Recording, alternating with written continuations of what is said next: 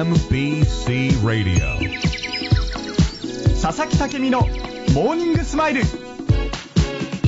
2月17日木曜日。時刻は6時30分を回りました。MBC ラジオをお聞きの皆さんおはようございます。佐々木健美です。木曜日のモーニングスマイルスタートです。今日も9時33分までの生放送3時間どうぞお付き合いください。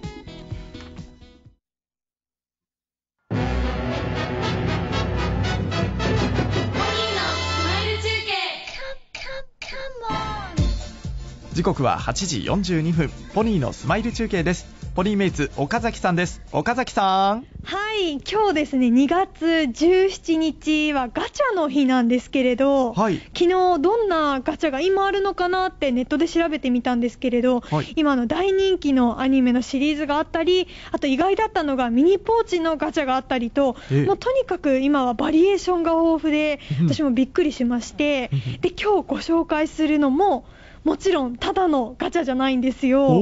あの鹿児島のあの誰もが知るシンボルがガチャになったあのカカプセルトイがあるということで、はい。伊佐市菱刈前目にある孫市市場にやってきました。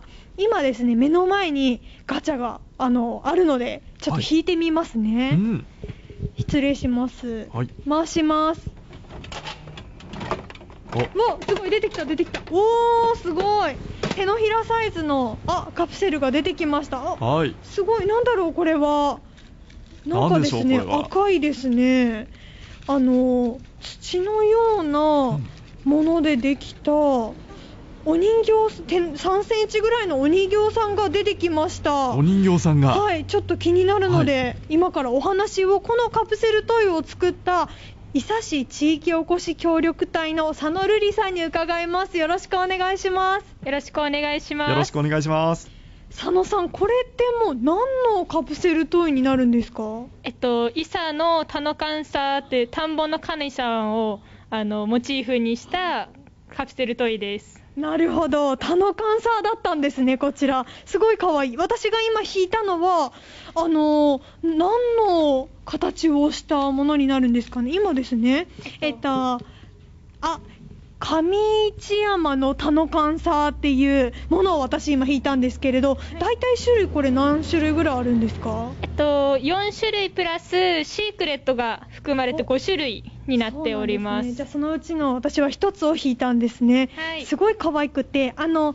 教科書に小学あ中学校とかで出てくる教科書に出てくるあの土偶のあのか色をした感じの土ですかね。この土は何の土なんですか？これは、え伊佐で採れた粘土を自分でこう、つそうですね、粘土にして、で、型に入れて、形を作っています。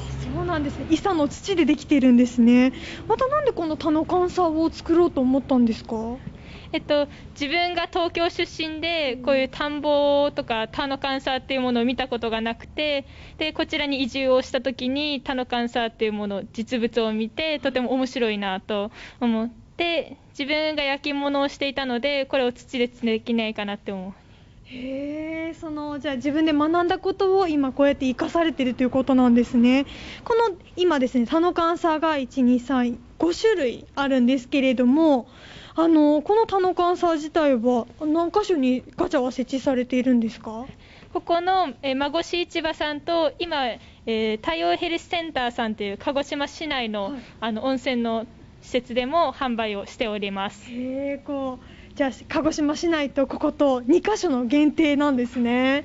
そしてですね私今気になったのがガチャガチャを引いた時にカプセルトイを開けると中にですねそのタノカンサーのあのデザインの写真が一つずつ書かれたあの載さ載ってありましてその横に QR コードがあるんですけれどこれは何ですか？これは、えースマホで読み取っていただくと Google マップの方につながっていまして実際にこの田のカンサーを地図上で見ながら訪問することができるっていう風になっています。じゃあちょっと田野関さん巡りなんてできちゃうかもですね。そうですね。実際に実物を見ていただいてっていう風にはい伊佐も観光していただければと思っています。いろんなじゃあ思いが込められているわけですね。ちなみにこの4種類というか5種類はあのどの田の神さを作ろうとか何かこうインスピレーションを受けて作ったんですか？そうですね。もともと237体いるっていうふうに言われていましてであの本があるんですけれども、まあ、その中で私がこうビビッときた、はい、あの可愛らしいなと思った田の神さをちょっと独断と偏見で選ばせていただきました。そうなんですね。えちなみに一押しといいますか全部そのあの選抜メンバーだとは思うんですけれども特に一押しなのはどの田の神さんなんですか？ちょっとシークレットになってしまうんですけれども、はい、あのシークレットの農民姿の田の神さが一番ちょっと可愛らしい姿をしていると、えー、そうなんですね。ちょっと、今ですね農民姿の田の神さ用意していただいてるんですけれども本当にあのコロッとした丸い形をしていてあのしっかりお目目もですね爪楊枝か何かでこれもつけているんですか？そうですね。竹串で顔を1個ずつ描いています。これは何かこうデザインの形でもしっかりカチッとはめて。そうですね。あの石膏の型を作っているので、そこに作った粘土を詰めて形を作っています。すごいですね。全部手作りなんですね、はい、ちょっとじゃあ私このスペシャルバージョンシークレットを弾いてみたいなと思うので最後に一つもう一回弾いていいですか？はい。今ちょっと一人一回っていう風にさせていただいてるんですけど、はい、今日は特別に。特別バージョンで、はい、すいません。ありがとうございます。ありがとうございます。ちょっと私コインを入れるのでちょっとお待ちください。今コインを入れてます。ああ大丈夫ですか？大丈夫ですか？大丈夫ですか？田の関さん落としてないですか？田の関がちょっとですねコロッと転がってしまいましたあのじゃあ聞きたいと思います。転がってしまいました。転がってしまいました。はい、そして特別な2個目ですね。特別な2個目を。すいませんそんな。いやいやありがとうございます。はい、今開いていただきました。あなんだろう。同じかな？同じタノカンサーがもしかしたら。あ今ちょっと割れちゃったからもう一回同じのが来ました。また同じのがまた同じですね。先ほど私が全くはい、うん、引いたのと同じタノカンサーが来ましたね。すごい。逆にこれは確率がねなかなか高い。そうですね。あのガチャガチャでやってるので、はい、まあ、何個も同じものが当たってしまったりもするんですけれど、はい、こう並べてあげるとちっちゃいものがこうバーッと出てきて可愛かったりもするので、えー、そうですね、はい、この本当にコロッとしていて可愛くてお家にも置けたりしてすごくいいですね、はい、で実際にあのお家に置いていただいてあのご飯を食べる前とかにちょっと田んぼの神様にちょっとお礼をしてでご飯をいただくっていう風にちょっと使っていただけるとはい嬉しいです。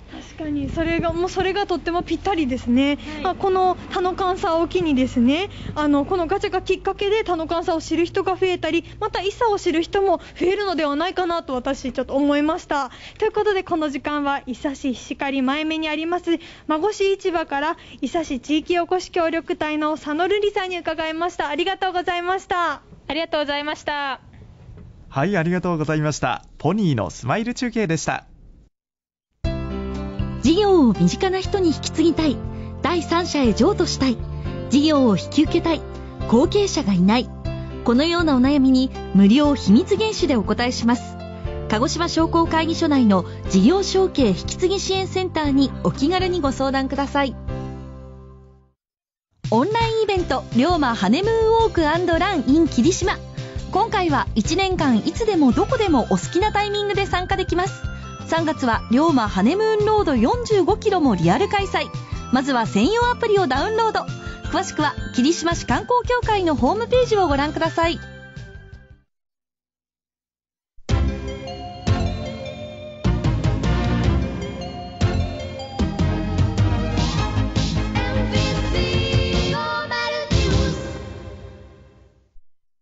健康寺研究所の提供でお送りします。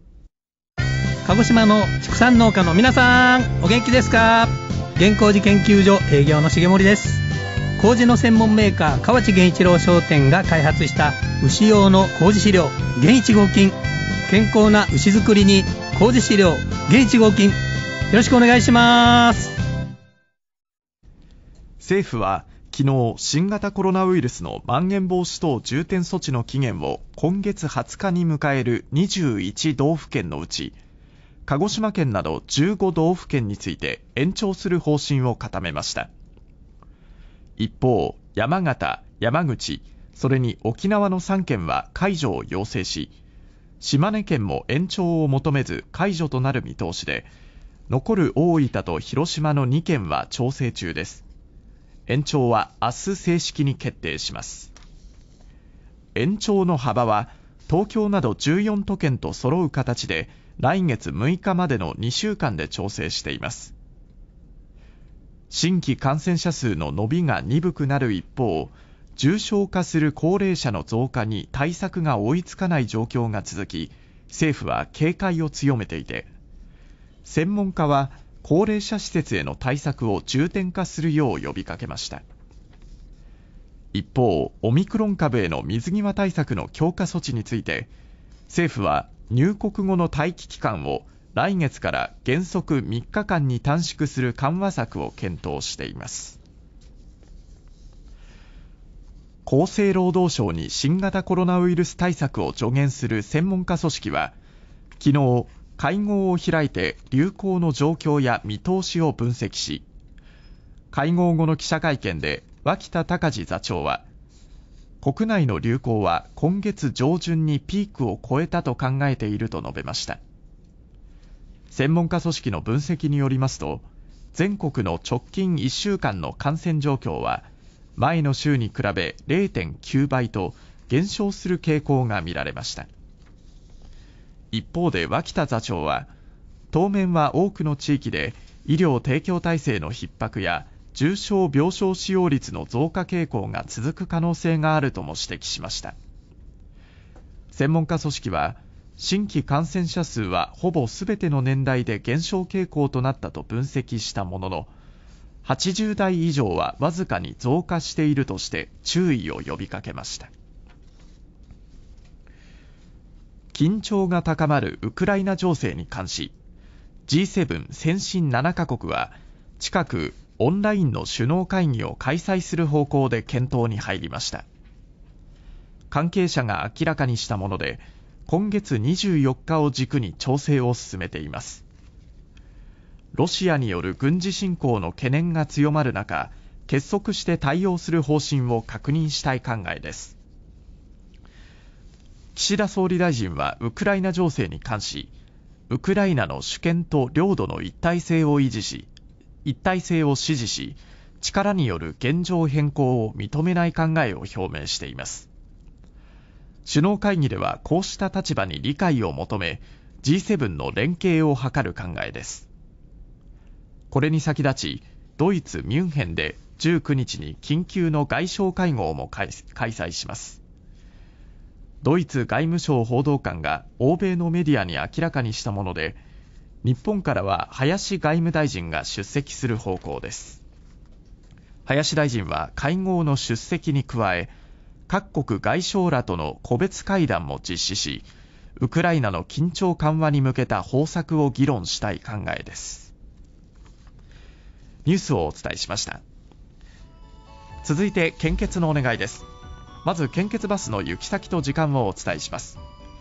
一木串野市の一木串野市役所一木庁舎に午前9時から11時45分までと午後1時から4時半まで。姶良市の姶良伊佐地域振興局に午前9時から10時45分まで。大和運輸株式会社に午後0時半から1時半まで。国立病院機構南九州病院に午後3時から4時半まで。奄美市の奄美信用組合本店に午前9時から正午まで。以上5カ所に献血バスが伺います。このほか鹿児島市の献血ルーム天文館で午前9時半から午後1時までと午後2時から5時まで献血を受け付けています。皆様の献血のご協力お願いします。献血のお願いでした。MBC50 ニュース健康寺研究所の提供でお送りしました。gosh rate for three blocks. Have a nice day. 娘よ、すごいぞ。パパ、泣いてる？一生ものの英語が身につく。ECC ジュニア、生徒募集中。ECC。ECC が、くじをお知らせします。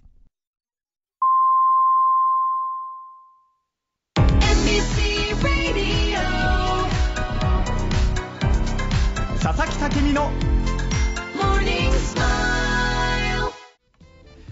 えー今日も皆さんたくさんのメッセージありがとうございました。その他泉のおばちゃんさんアクネのもっちさんアグリマンさんけさがめさんそして柿の木愛子さんからもメッセージいただきました。ありがとうございました。2月17日木曜日のモーニングスマイル。お相手は佐々木武美でした。皆さん今日も一日スマイルでいってらっしゃい。